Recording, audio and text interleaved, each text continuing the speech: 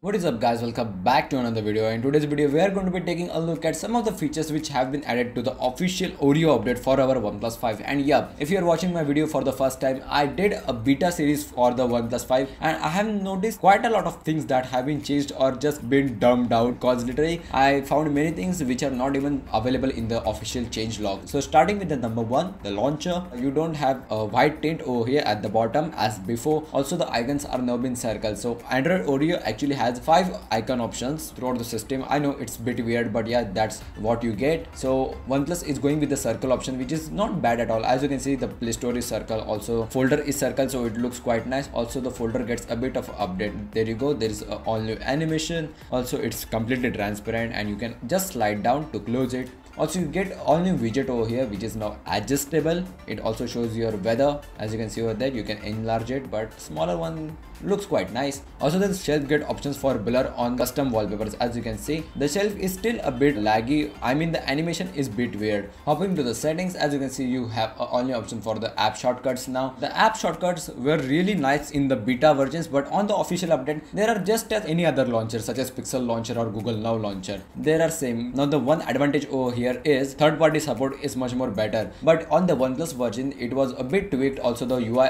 was a bit different. You get instant options for going to the app info which is still available over here but you can directly uninstall the app or have the notification access and stuff which is still accessible over here. But i would really appreciate if oneplus would just give an option for that coming to the quick settings panel up top those who have watched my beta series videos the toggles were in dark blue color which was pretty nice. As you can see color for the brightness toggle is same as before but the toggles are now white which is a bit weird. As you can see i'm not a huge fan of this but we can't help it. The profile icon is blue again the brightness ladder is blue just like before. Just the toggles and the settings icon are now white. You get your normal animations over here as you can see. Nothing in that. Hopping to the settings again there is no new major ui change. I mean like samsung didn't even change their ui this year. Then again we can't even expect from oneplus. If you go into customization there is nothing new added over here. The Slate font has been bit tweaked for sharpness. Going to the display options if you scroll down the lift up display gets a bit of a ui update. Scrolling up to the screen calibration you get only option for adaptive model. Now seriously i don't have the idea of what actually it does but it will actually select between these two options for you automatically. For example if you select it on adaptive model. Now it's on uh, like sRGB but then again when you're watching videos it will automatically select to the P3 color gamut. It does everything for you but I would really suggest to just give it on default. Going to the battery you have only UI over here which is quite nice. Also there are more tweaks than the normal stock Android for the battery saver done by the OnePlus. So this should actually give you a boost of 1 to 2 hours in your normal day-to-day -day usage. Now if you go to the storage you also have a newer UI over here. You can tap free up your space which is kinda easy to clean up your cache now in terms of security, there would be face unlock as many of the die-hard fans uh, tweeted which was extremely nice of OnePlus that they are taking these things into consideration. If it was Xiaomi or Samsung, they would listen but they wouldn't just add it because it's against their policies that the newer devices should get the newer features despite the hardware is just available on the older devices. But on the beta 2 face unlock was actually available and it just worked flawless like as same as the 5T so face unlock would be coming to our OnePlus 5 just wait for some time scrolling down to the advanced you get only option for the bluetooth audio codec. Now aptX hd and aptX was actually available on the oneplus 3 and 3t but you also get the sbc codec over here which is a nice thing. Pocket mode has been also enhanced with the newer ui if you just uh, keep your hand over here and just tap space as you can see now it's a full screen ui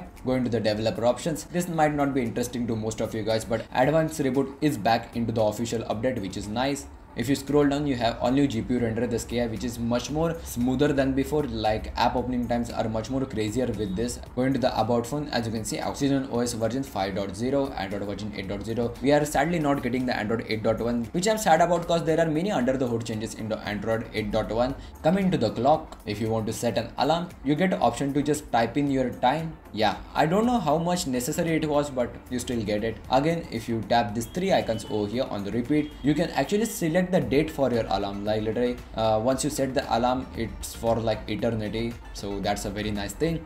Going to the calculator. If you swipe down you get history going to the settings again almost forgot about that. If you go to the apps you get only option for the parallel apps. So not all the apps but you can actually clone some of the major messenger apps such as facebook instagram telegram whatsapp wechat and it just works flawless. Now coming to the gallery, as you can see the UI is now completely white. Not a huge fan of it but as you can see there is a huge empty space on the top thanks to OnePlus 5T and you get all only option for places. This feature is nothing new. You get in almost like all of the galleries. But yeah you can actually add location data if you have your gps on Coming to the camera, this is nothing new as the camera app has been also updated on the Android Nougat. But in the beta 1, if you just tap on this zoom option, it would actually just switch to the second lens, which was extremely nice that if I just do it right now, it wouldn't just switch to the second lens. It will just pick for the opportunity and it will check whether the light is perfect or the focus. But in beta 1, it would just switch, which is not now available. Kinda sad, but if you go to the portrait mode, it has been highly optimized. Like literally in number 1 would be the MI-A1 for the bokeh effect and second would would be now the OnePlus 5 because literally it just works perfect. Also it uses AI, it doesn't depend on the second lens. It's just OnePlus is fooling us on that part. Beauty mode added on the portrait mode. Not a huge fan. I would really hope that OnePlus adds a HDR effect onto the Android 9 because that would be extremely helpful as portrait mode needs a lot of light and when you have a lot of light you can't just mess up your exposure. Then again if you want to access all of your options you have to just slide up.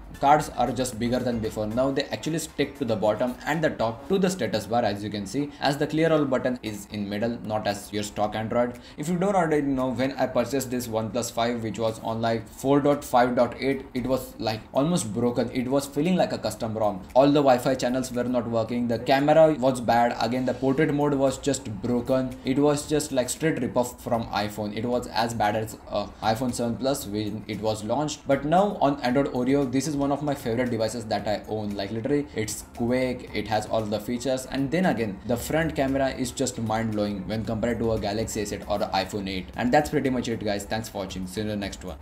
Peace